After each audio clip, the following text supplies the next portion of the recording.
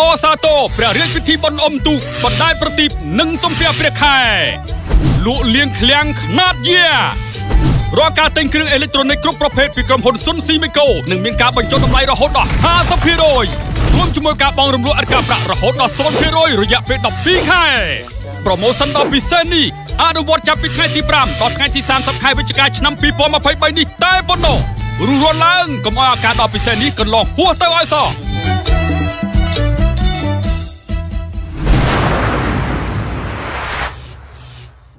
យើងជាជំរឿដំបងសម្រាប់អ្នក